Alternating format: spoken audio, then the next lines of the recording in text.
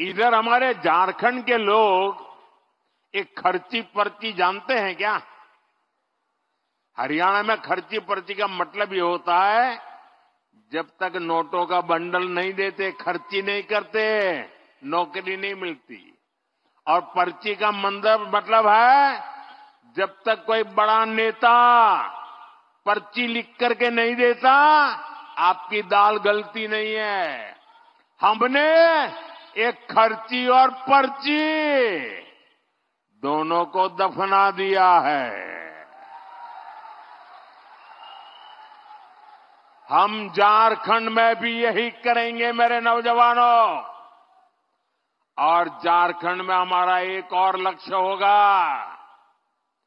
यहाँ जेएमएम कांग्रेस ने जो पेपर लीक माफिया और भर्ती माफिया पैदा कर दिया है। पेपर लीक माफिया, उन सब पर प्रहार किया जाएगा।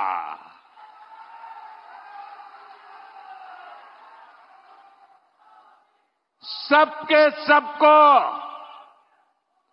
पाताल में से ढूंढ करके जेल के हवाले कर दिया जाएगा।